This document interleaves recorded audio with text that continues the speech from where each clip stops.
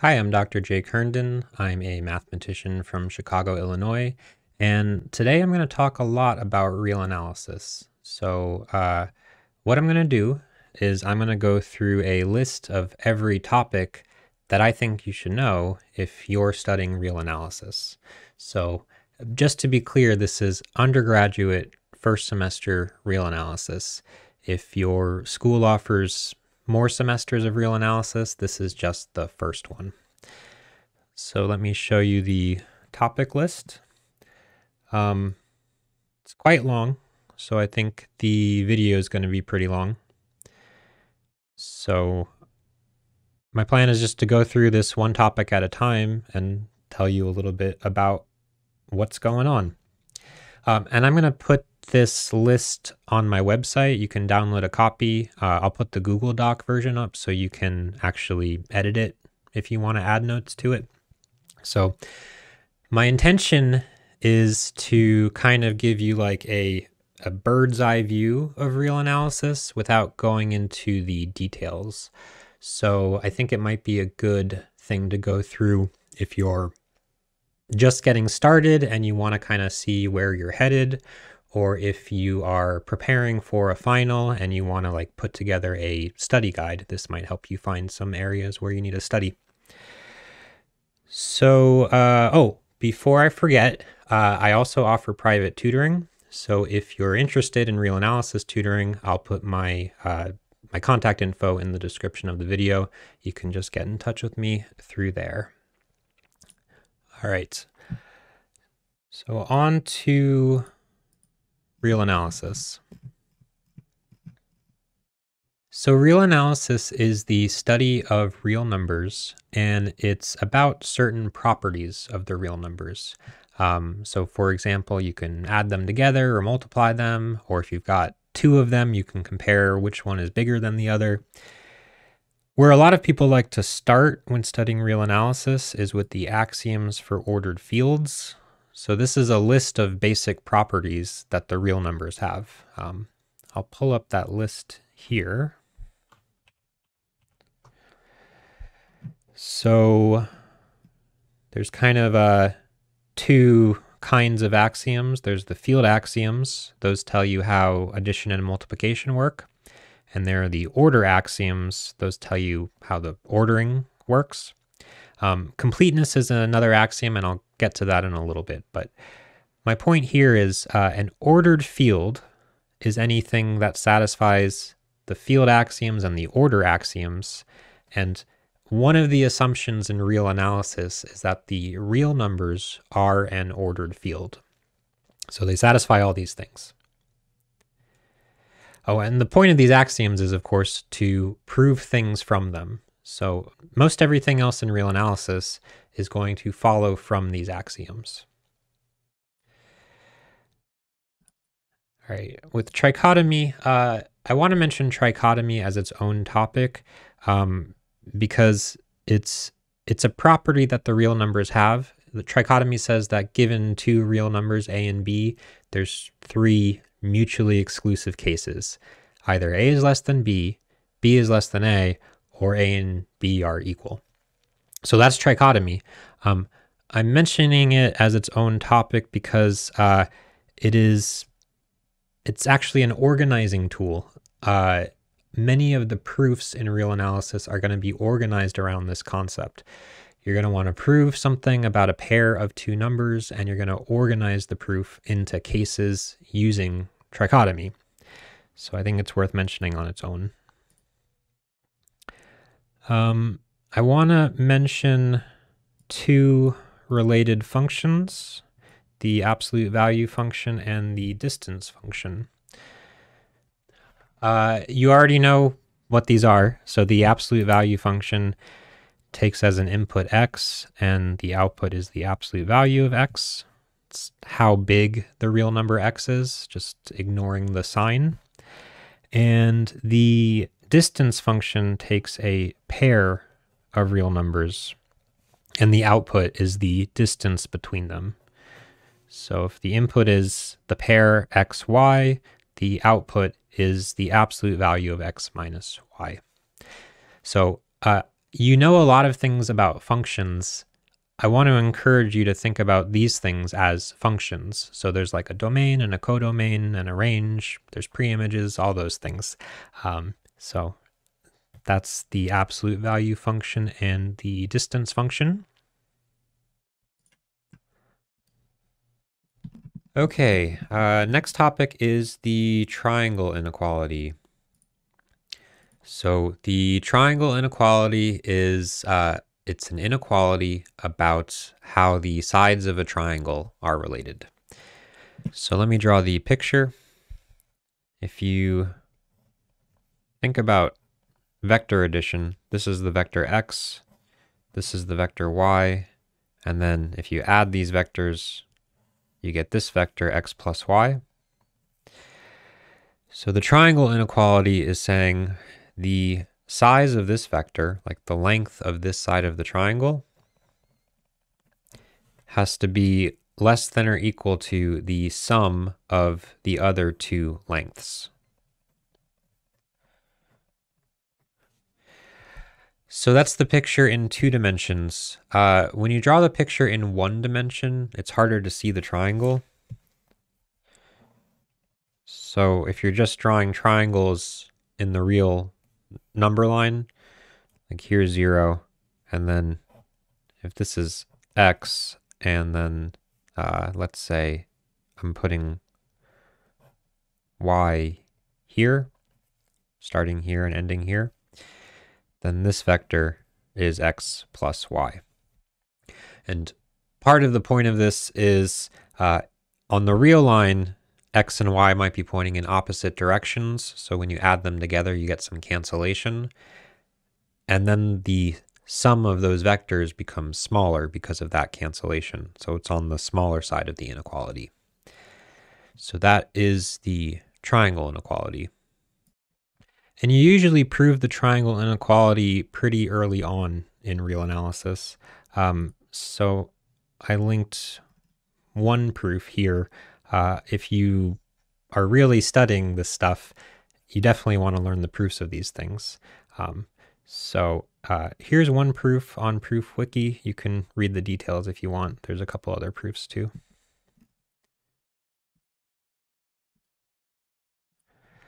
Okay, on to completeness. So completeness is another axiom. It's something that we're assuming is true about the real numbers. Um, so uh, along with the ordered field axioms, we're assuming that the real numbers are a complete ordered field. The intuition behind completeness is that uh, we're assuming there aren't any holes in the real number line, but there's a few ways to actually say what that means. So the Wikipedia article has seven different versions of completeness. Uh, the least upper bound property is a good one to start with. Uh, it says that every non-empty bounded subset of real numbers has a least upper bound. I think Dedekind completeness might have been the first one I learned about, and Cauchy completeness is a good one too. I mean, all of these are great. You should learn them all, but you're going to have to start with one. So what your real analysis class or book is going to do, they're going to pick one of these to use as an axiom and then they're going to prove a few of the other ones. So that is completeness. And I want to talk about constructions of the real numbers. So up until this point, everything has been a property of the real numbers. Some properties we're assuming, like the ordered field axioms, uh, other properties we are deducing, like the triangle inequality. But when you're constructing the real numbers, it's completely different. So what we're trying to do here is uh, build the real numbers from some simpler, more easily understandable number system. We're trying to justify that there really is this this set called the real numbers, and it really does have all these properties. So how do you construct the real numbers? There's a bunch of ways to do it. So the Wikipedia article is pretty good. Construction of the real numbers. They've got these explicit constructions. uh, probably in your real analysis course, they just pick one of these. So popular choices are the construction from Cauchy sequences and the construction by Dedekind cuts. So there's there's when you're studying abstract math, there's two sides to this. You want to study the properties, but then you also need to justify that there is something that has those properties. So you have to construct it. And there's also this math overflow post, which talks about how uh, mathematicians nowadays think about the real numbers. So if you've studied real analysis before, I think uh, you, you'll find this post interesting. All right. Moving on to the first major topic sequences. And I think you should split this up into two subtopics. There's sequences of real numbers, and there's sequences of functions. So starting with sequences of real numbers. So you should certainly know what the idea of a sequence is. A sequence is an infinite list of real numbers. And you should also know the technical mathematical definition. So a sequence is a function whose domain is the set of natural numbers. You think about this function as taking input n, some natural number, and producing as output the nth term of the sequence. And there's a few special kinds of sequences that come up over and over in analysis. So you've got bounded sequences. Uh, a sequence is bounded if there's some real number a and some real number b, so that every term in the sequence is bigger than a but smaller than b. And uh, this one is a huge topic, convergent sequences. Uh, I want to write down this definition because it's one of the most important definitions in the subject. A sequence x sub n converges to L, that's a real number, if for all epsilon greater than zero, there exists a big N, a natural number, uh, so that whenever little n is bigger than or equal to big N, we've got that the distance between the nth term and L is less than epsilon. So this is a very fancy way of saying uh, the distance between the terms and L is getting arbitrarily small. So one of the most important uh, definitions in all of analysis is the definition of a convergent sequence. And then you've also got monotonic sequences. So uh, a sequence is monotonic if it doesn't zigzag back and forth. So there's two kinds of monotonic sequences. There's monotonically increasing, they always go up. There's monotonically decreasing, and those always go down. And uh, there's kind of two variations of each one of those. So you've got uh, weakly increasing, so maybe it goes up but sometimes stays the same. And then you've got strictly increasing, so that would be always going up. And then same thing for uh, weakly and strictly decreasing. So now it's time for the first theorem I'm going to mention, the monotone convergence theorem. Um, so theorems in math are true statements that have proofs that as a community, we've all agreed are really important ideas. So uh, the monotone convergence theorem says if you've got a sequence that's monotonic and also bounded, then it has to be convergent. So it's relating all three of these special kinds of sequences. If you've got a sequence that has this property and this property, then it must also have this property. And the point of having this theorem is say you want to prove a sequence converges, oftentimes it will be easier to show that it's monotonic and bounded without having to use the for all epsilon definition of convergence. So that is the monotone convergence theorem. Next, I want to talk about Cauchy convergence. Um, so Cauchy convergence is pretty similar to regular convergence. Uh, the main difference with Cauchy convergence is you you don't want to mention the limit. So I'll write down the definition. A sequence x sub n Cauchy converges if for all epsilon greater than zero, there exists a natural number n, so that whenever you've got m and n, which are greater than or equal to that natural number n, uh, the mth term and the nth term uh, have distance less than epsilon from each other. So I like to think about it like this. A sequence converges if there is uh, a limit that the sequence is bunching up around. A sequence Cauchy converges if the sequence is bunching up around itself. So that's Cauchy convergence. So I should definitely mention this this key fact about the real numbers. Uh, if you've got a a sequence of real numbers, then it it's Cauchy convergent if and only if it is convergent. Um, so even though these aren't defined the same way, every sequence with one property also has the other property. So they are the same thing for uh, sequences of real numbers. All right, next up is subsequences.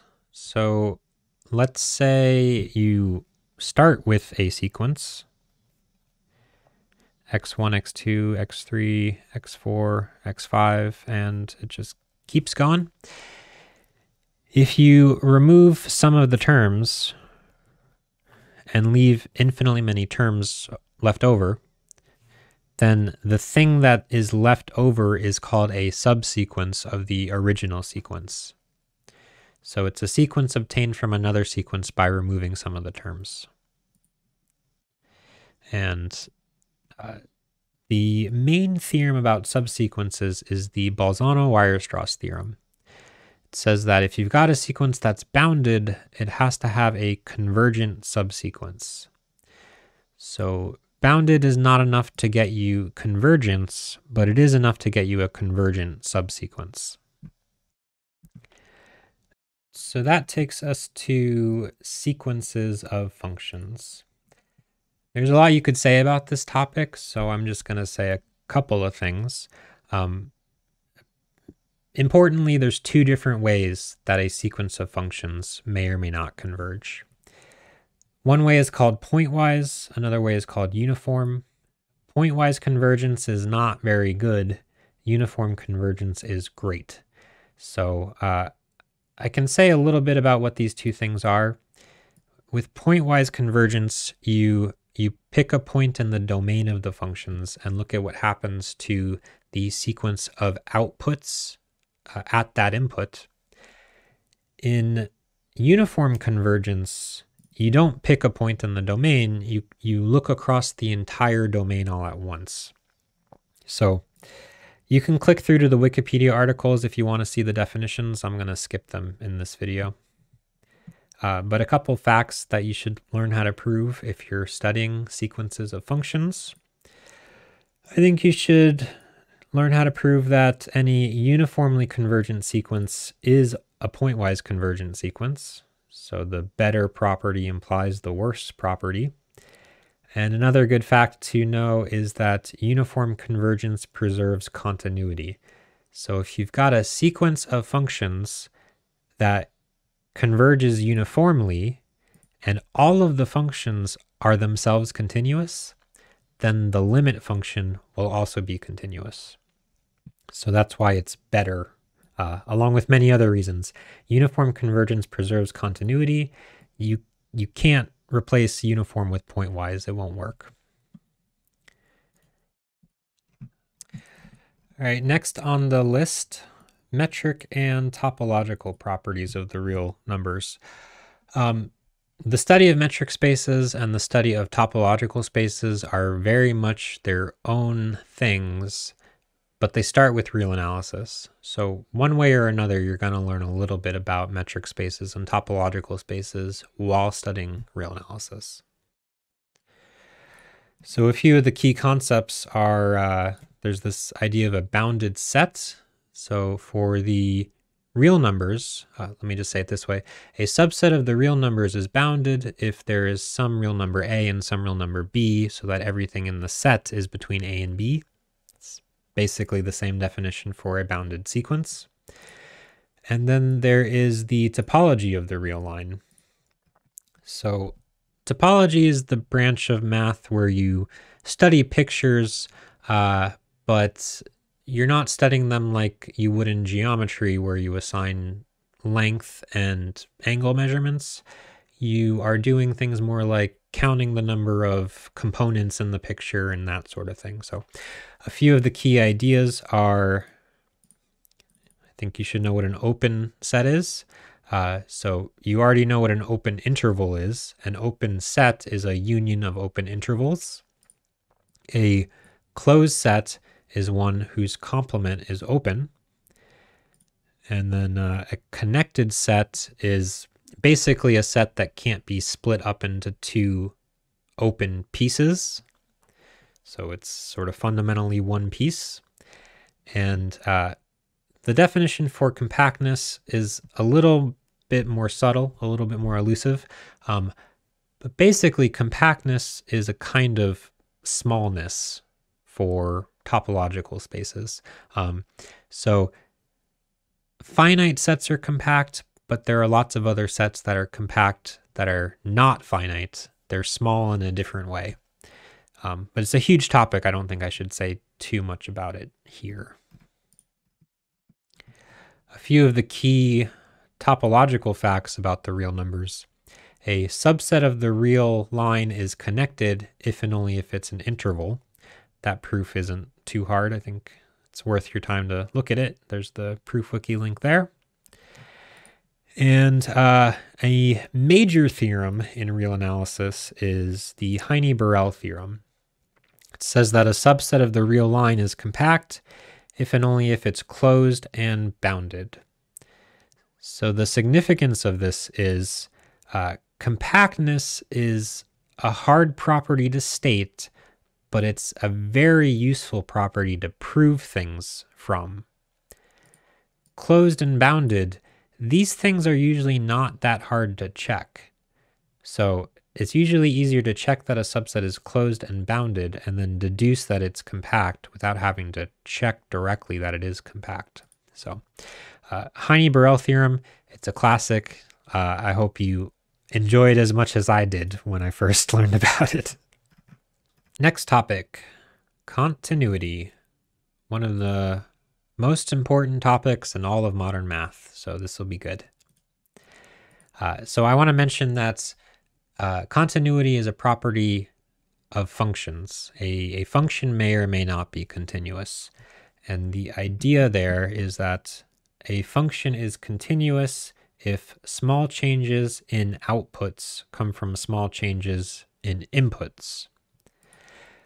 I think that can be a little counterintuitive the first time you study it because the outputs come before the inputs. So I want to pull up the definition, the epsilon delta definition, just so you see what I'm talking about. So here we go. Uh, a function f from a domain D to the real numbers is continuous at x naught in the domain if for every epsilon greater than zero, there is a delta greater than zero, so that for all x in the domain, whenever the distance between x and x naught is less than delta, we have that the distance between f of x and f of x naught is less than epsilon. So what did I say? Small changes in output come from small changes in inputs. Well, what this is saying is if you want the outputs to be within epsilon, you can guarantee that happens by making sure the inputs are within delta. So small changes in output come from small changes in input.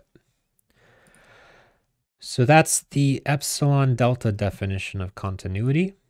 Um, and I'll just mention it. Uh, the way this works is first you define what it means for a function to be continuous at a point in the domain. And then if it's continuous at every point in the domain, then you just say the function is continuous, period. Uh, there's also a very related idea of a limit of a function at a point. So make sure you know what that is. Okay, moving on to examples of continuous functions. Um, so you already know many examples of continuous functions from calculus. So like the absolute value function, polynomial and rational functions, trig functions like sine and cosine, exponential functions like e to the x and 2 to the x. Uh, those are all examples of continuous functions. So you took calculus, you already know that these are all continuous, but the point in analysis is to prove they are continuous from the epsilon delta definition of continuity. So most likely whatever book you're studying or whatever uh, class you're taking, you're going to go through these and prove each one is continuous. And the really good stuff is the counterexamples. So real analysis is famous for having cool counterexamples. There's actually a book just of counterexamples. So counterexamples in analysis, uh, this is basically just an encyclopedia of interesting counterexamples. Uh, if you're into that kind of thing, you should pick up a copy and look through it. And I want to mention a couple examples of functions that are not continuous in interesting ways. So there's the Dirichlet function. Uh, this function is defined like this. The output is 1 if the input is rational and 0 if the input is not rational. So that function is not continuous anywhere in its domain. And you can modify this idea to get something called Thomae's function. So this function, if the input is rational, you write it as p over q in reduced form, and then the output is 1 over q. And if the input is irrational, then the output is just zero. So if you try to graph this function, it looks something like this. And this function is continuous at all of the irrational numbers in the domain, but it's discontinuous at all of the rational numbers in the domain. So it's very unusual property for a function to have. Uh, it's continuous and discontinuous on these two sets that are sort of like interwoven together. Anyways, read the article if you're interested. I don't think I should talk about it too much more here because it's kind of uh, mind bending. So I'll come back to interesting counterexamples later. Uh, for now, I need to move on. So I'm going to talk about combinations of continuous functions.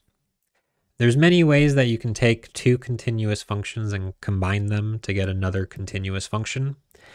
So let me say a few of those. Uh, you can add them together. You can subtract one from the other. You can multiply them together. You can divide one by the other as long as you're not dividing by zero. And you can compose one with another. So if f and g are continuous, f composed with g is continuous wherever it is defined. I put a couple Stack Exchange posts here. Uh, they've got some detailed proofs. So like this is the proof that the product of continuous functions is continuous. Feel free to take a look at that. Same thing with compositions here. And now for sequential continuity. Um, so just like with continuity, sequential continuity is a property that a function may or may not have, and a function is sequentially continuous if it preserves convergence and sends limits where they're supposed to go. So let me write down what that means. Uh, f is sequentially continuous at C. This is a point in the domain. If whenever xn is a sequence converging to C,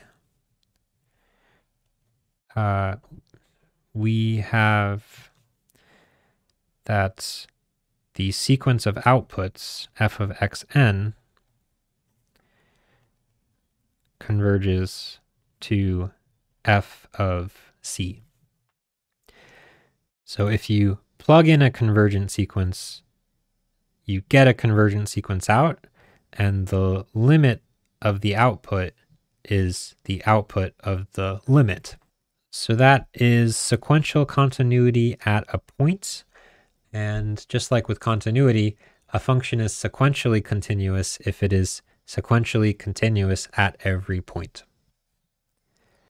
So a key fact about sequentially continuous functions, they're actually the same functions as the continuous functions. So in real analysis, a function is sequentially continuous if and only if it's continuous. And so the benefit of that is, let's say you want to prove a function's continuous. Well, you don't have to use the epsilon delta definition of continuity. There's this alternative version of continuity. Uh, sometimes this one's a little bit easier to use. So um, I'll let you think about that. And now moving on to the intermediate value theorem. So roughly speaking, this theorem says continuous functions send intervals to intervals. There's a picture that goes along with this. So here there's a continuous function f. There's an interval in the domain from a to b. And there's an interval in the codomain from f of a to f of b.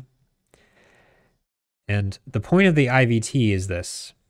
Anytime you take a point in the interval between f of a and f of b, you can find a point c in the interval between a and b such that when you plug c into f, you get the original points that you picked. So the entire interval from f of a to f of b is in the range of f. So that is the IVT. And then we've got the extreme value theorem. This says continuous functions on compact sets take extreme values. This one has a picture too. Uh, there's a continuous function. It's defined on a compact set, the closed interval from a to b. And the point of this theorem is you can find some number c between a and b that when you plug it in, you get the max of the function and a point d that takes the min of the function. So these would be the extreme values of the function. Um, without compactness, this doesn't work. So uh, here is a function from a to b, but not including the endpoints. So there are functions defined on the open interval that they're continuous, but they don't achieve their extreme values. So if you got something like with asymptotes, uh, this function does not take a max value on the interval from a to b. You need the endpoints to make that work.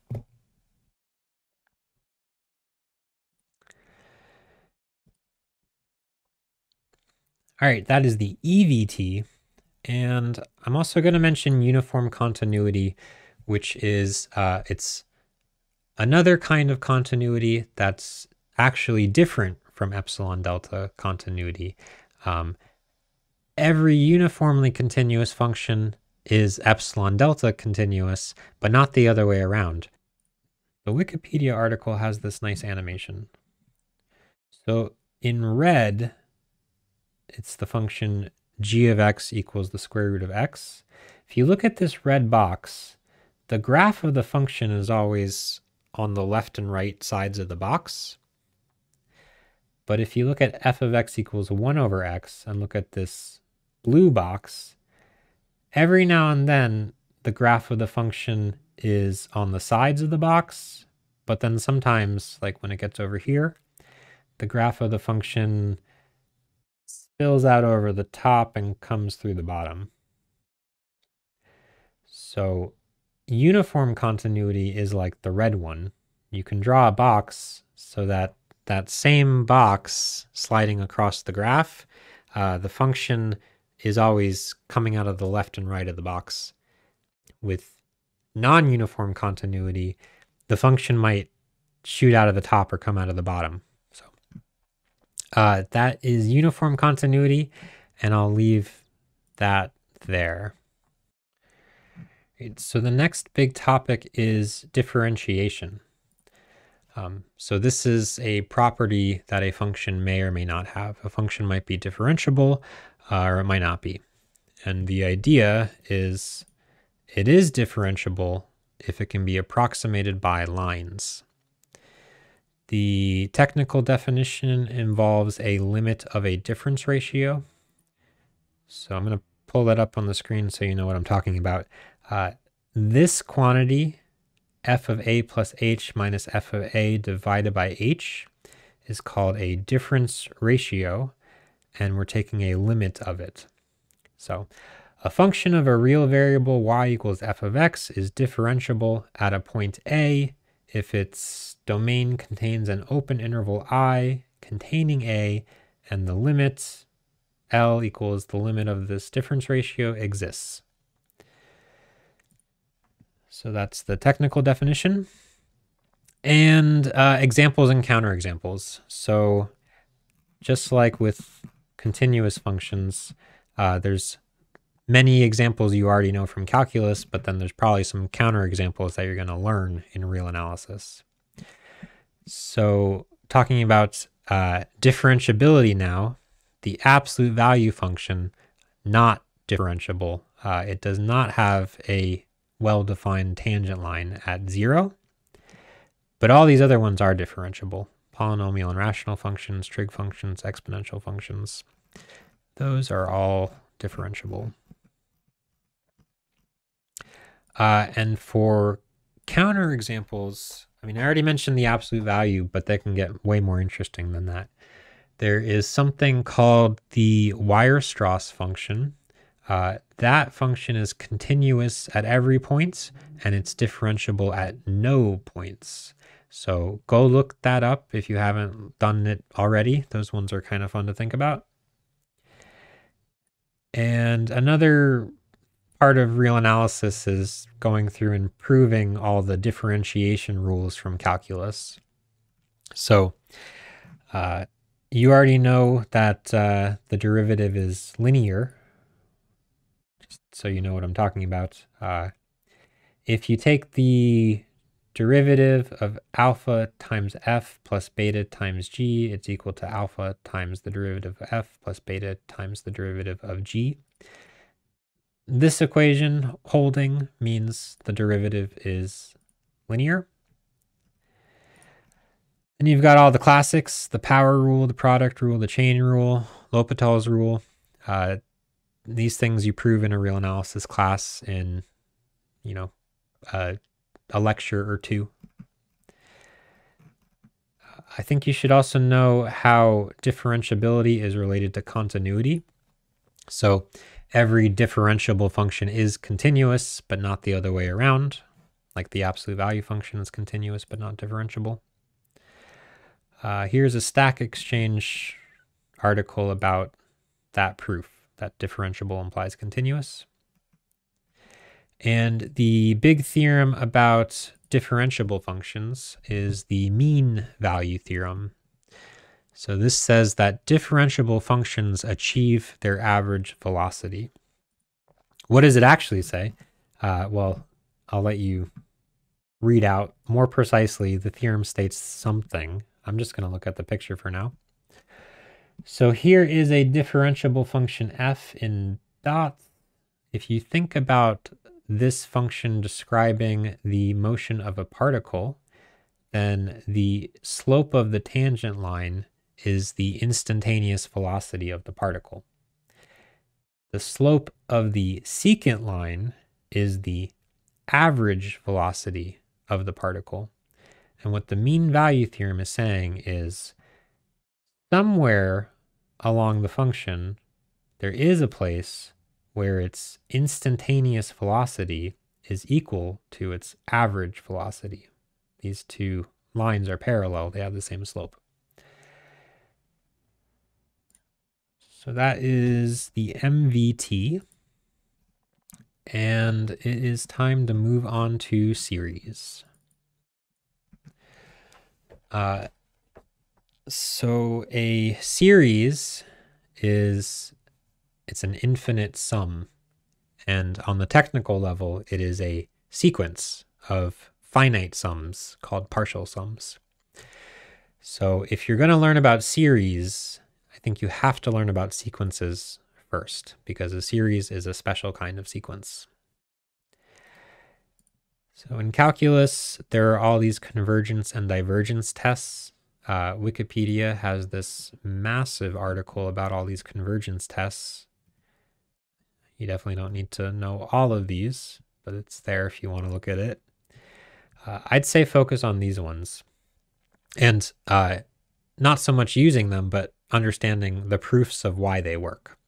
So there's the divergence test, the comparison test, the ratio test, the alternating series test, uh, things that you got familiar with in calculus. It's time to go back and prove that they actually work the way that you think they do. All right, and I also need to mention Taylor's theorem.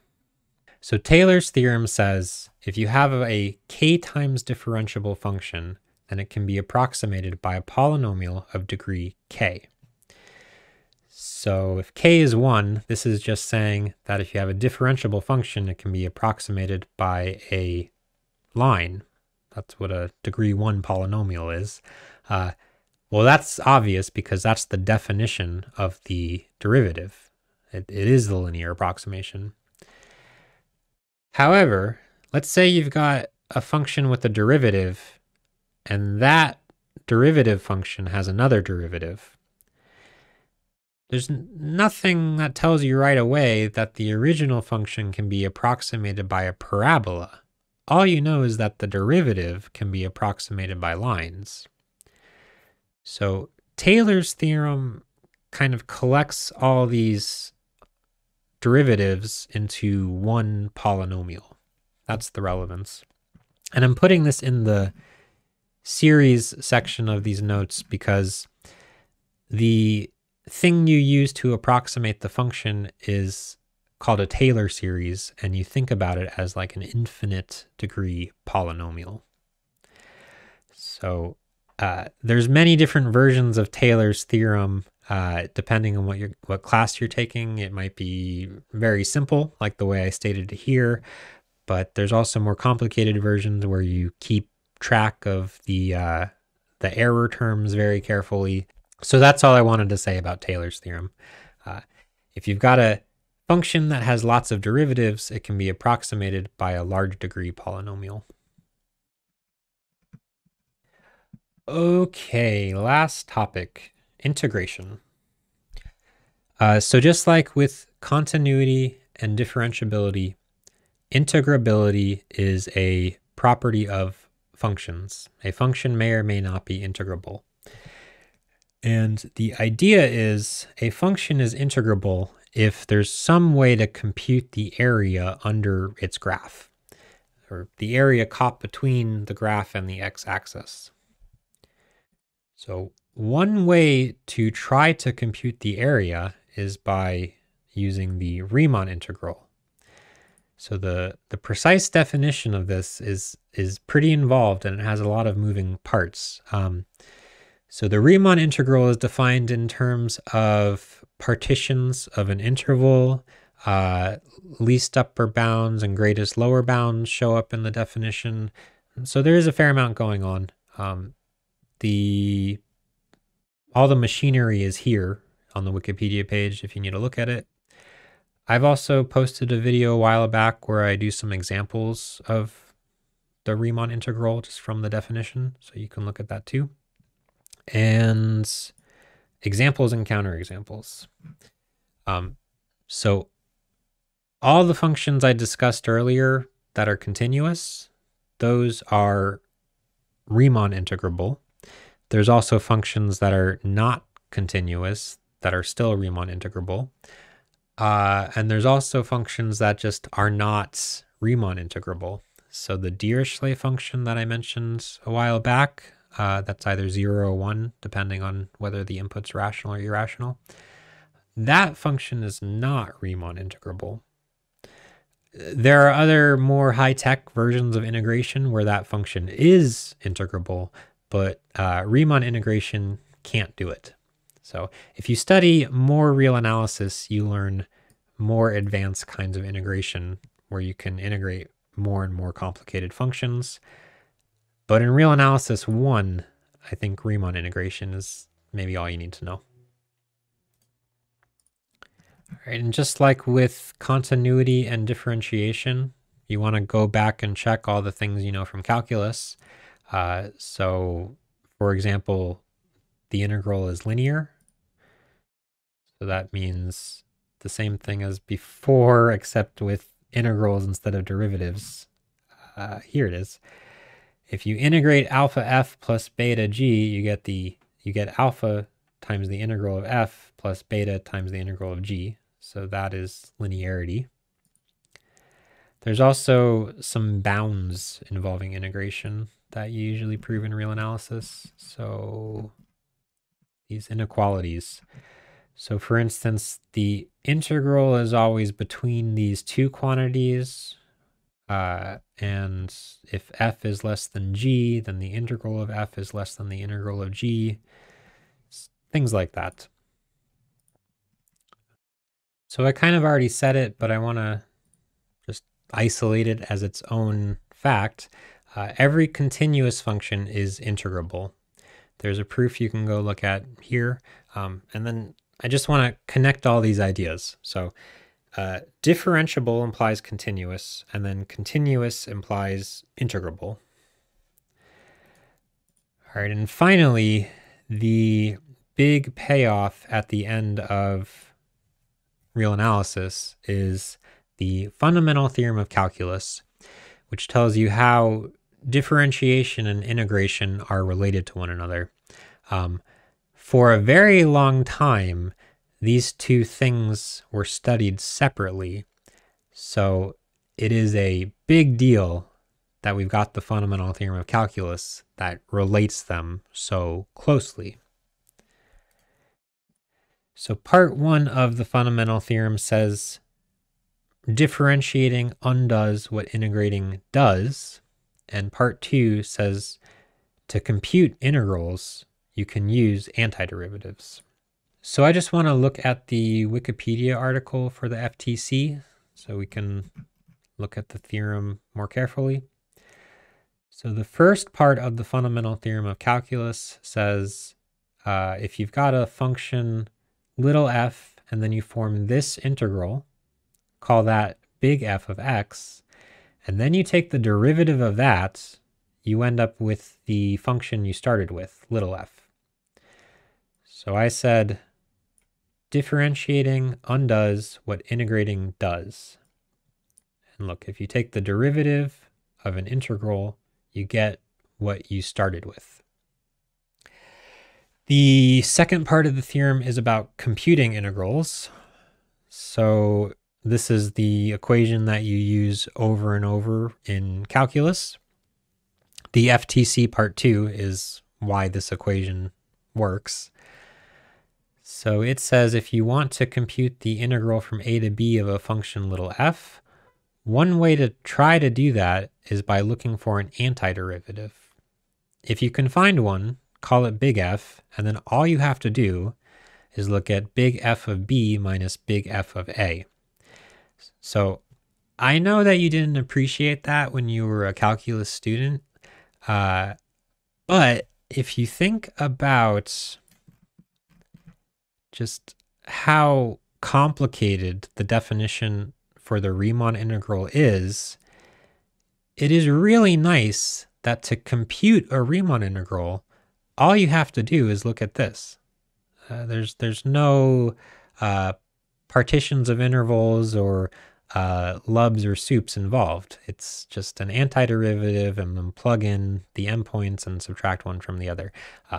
It's so easy, even a calculus student could do it. So uh, that is enough of that. Okay, that is all I wanted to say about undergraduate first semester real analysis. Um, so I think it should be clear that you're not going to be able to learn real analysis just from this video. It's just meant to be kind of a uh, study tool. So if you really want to learn it well, read as many books as you can and talk to as many people as you can about this stuff. Um, and before I go, I just want to remind you again that I offer private tutoring. So if you are looking for a math tutor, I tutor real analysis, abstract algebra, topology, many other things. So I'll put my uh, my contact info in the description of the video, and I hope to hear from you. Bye.